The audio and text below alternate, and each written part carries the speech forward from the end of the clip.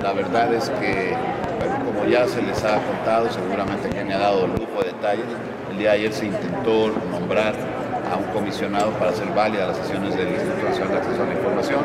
Morena no quiso, traicionó el acuerdo, rompió un acuerdo político, eso es grave en política.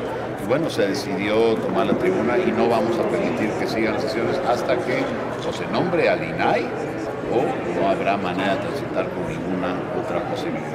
Ah, es un asunto que no es un capricho ni mío, ni de Kenia, ni del PAN, ni de ningún grupo político. Es una, es una necesidad constitucional, una obligación constitucional el hacerlo para garantizar la transparencia y descubrir la corrupción, que por cierto en este gobierno es muchísimo.